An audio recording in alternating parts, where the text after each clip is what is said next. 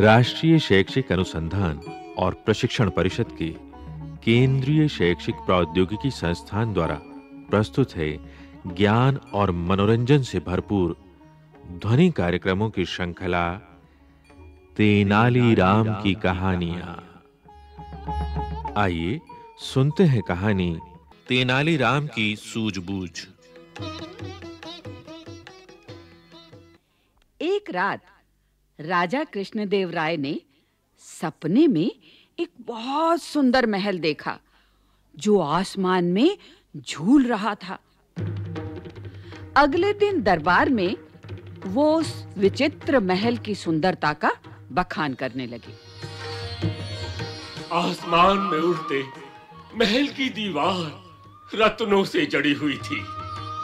सभी कमरे जगमगा रहे थे। सच महाराज? हाँ आश्चर्यजनक बात यह थी कि उस महल में जब भी कोई प्रकाश के बारे में अगर सोच भी लेता तो तुरंत पूरा महल जगमगा उठता। और अगर कोई अंधेरा चाहता तो सोचने भर से महल में अंधेरा हो जाता है। सोचने भर से? तब तो महाराज पूरी दुनिया में ऐसा महल मुश्किल से ही होगा। नहीं भी हो सकता है महाराज। क्यों नहीं हो सकता तेनाली? हमारा खजाना हीरे जवाहरात धन दौलत से भरा पड़ा है। हमारे राज्य में कुशल कारीगरों की भी कमी नहीं है। हम ऐसे शानदार महल का निर्माण करा सकते हैं। परंतु महाराज आसमान में झूलता महल ये तो सपने की बात है। आप हम कुछ नहीं सुनना चाहते तेनाली रामा। महाराज मैं मंत्री जी। आज्ञा दीजिए महाराज। हम अति शीघ्र सपने में देखा हुआ महल बनवाना चाहते हैं। जो आज्ञा महाराज।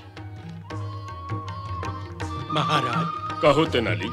यदि आज्ञा हो तो एक बात कहूँ। अवश्य। अवश्य कहिए तेनाली रामा। महाराज स्वप्न महल में बहुत सारी स्वर्ण मुद्राएँ खर्च हो जाएँगी। सारा राजकोष खाली हो जाएगा। महाराज अभी हमें अपनी प्रजा की भलाई पर धन खर्च करना चाहिए। महामारी और अकाल के कारण प्रजा की दशा पहले से ही बहुत दयनीय है। जनता इतने खर्च का बोझ नहीं उठा पाएगी महाराज। तेनाली रामा हमें प्रजा की चिंता तुम लोगों से ज़्यादा है। किंतु महाराज परंतु हम अपना ये विशेष महल अवश्य बनवाएँगे। इसी समय सारे प्रबंध किए जाएँ। ये हमारा आदेश है। जैसी आपकी आज्ञा महाराज मगर ऐसा महल बनेगा कैसे? जब महाराज कह रहे हैं तो अवश्य बनेगा।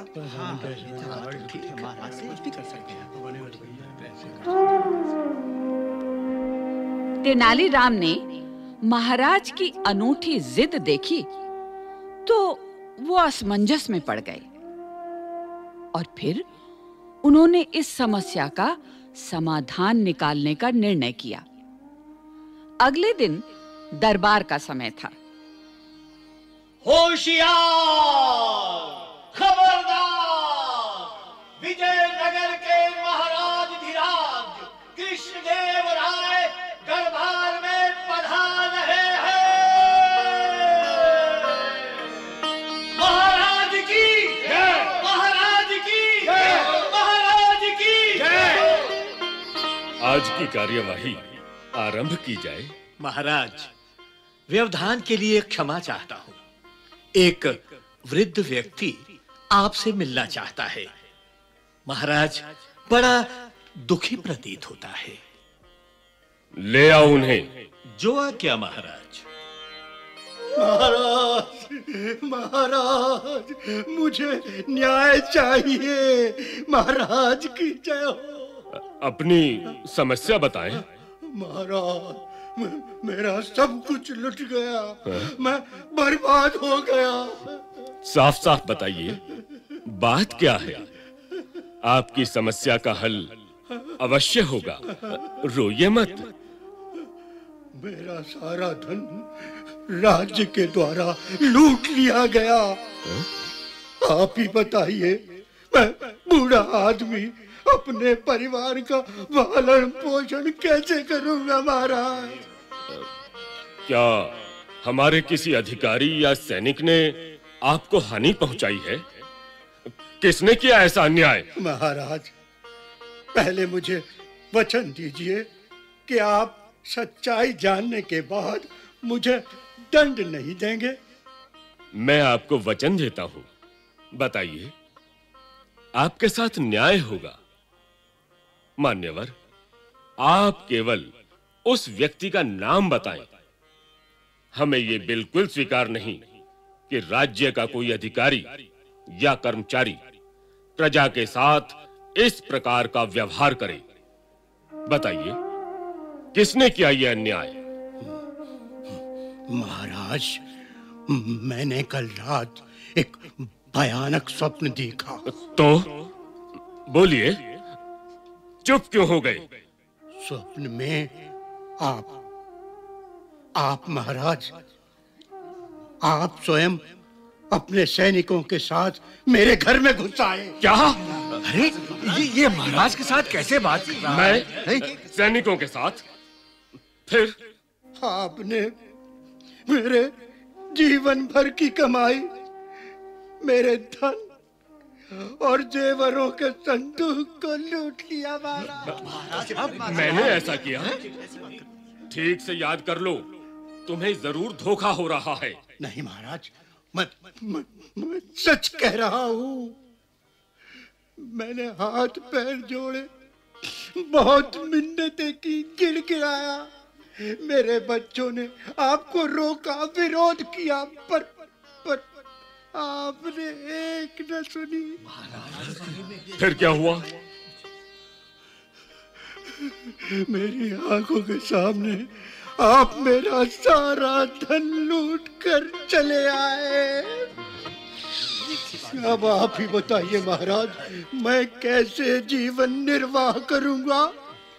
मैं अपनी बहन बेटी की शादी कैसे करूँगा? मेरे साथ घोर अन्याय हुआ है। मुझे इंसाफ चाहिए। आप पागल हो गए हैं। आप पागल हो गए हैं। आपने सपना देखा। सिर्फ़ सपना। सपने और सच्चाई में बड़ा अंतर है। कभी सपने भी सच होते हैं क्या? महाराज यही बात तो मैं आपको समझाना चाहता हूँ कि सपने कभी सच नहीं होते। क्या मतलब? महाराज जैसा महल आपने सपने में देखा है वैसा ही महल वास्तव में बना पाना कठिन ही नहीं नामुमकिन है, है? मेरे सपने के महल की बात आप कैसे जानते हैं? कौन है आप? महाराज मैं हूँ आपका सेवक। कौन?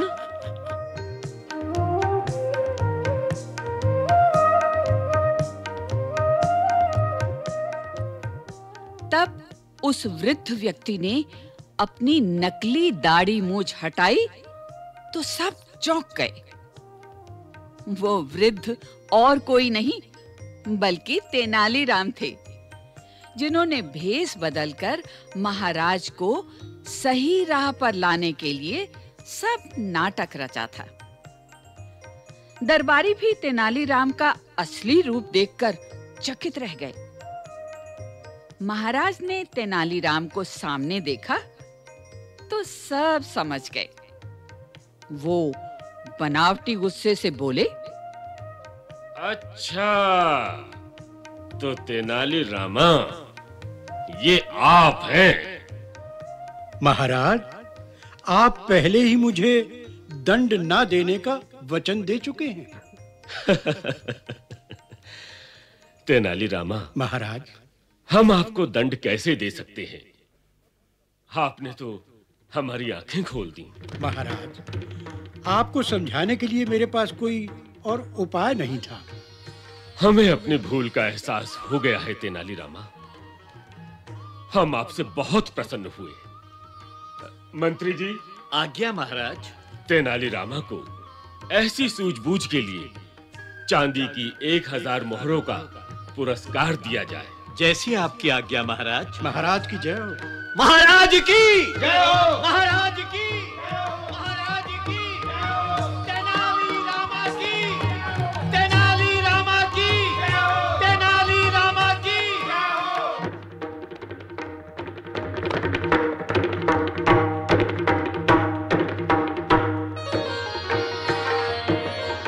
तेनालीराम की कहानियाँ।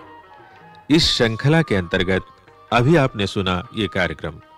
विषय संयोजन, अख्तर हुसैन, आलेख, नेहा, कार्यक्रम निर्देशन, प्रभुदयाल खट्टर, कलाकार जयमिनी कुमार, मंजू मैनी, राम मैनी, कीमती आनंद, सुनील लोहिया और हरदीप, तकनीकी नियंत्रण पुष्पलता कुमार, तकनीकी समन्वय सतीश लाड़े, ध्वनियांकन, दीपक पांडे, निर्माण सहयोग दाऊदयाल चतुर्वेदी तथा निर्माण एवं प्रस्तुति रमेश रानी शर्मा।